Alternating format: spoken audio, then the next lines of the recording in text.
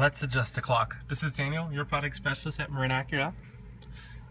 In models featuring the MID or the two displays with a touchscreen on the bottom, go ahead and press the info button.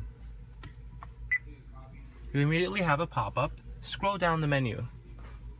And when you do, you'll access the clock wallpaper section. Go ahead and press. This will show you what your current wallpaper looks like. Press it again to adjust and access its settings. Scroll down to clock adjustment, select enter.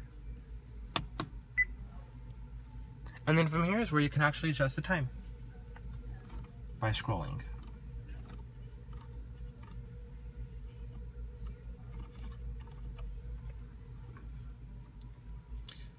Adjust the hour, adjust the minute, and you're done. You can have it like I have it in my vehicle.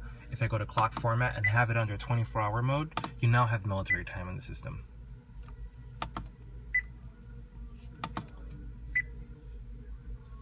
Toggle down to complete the form. And you're done.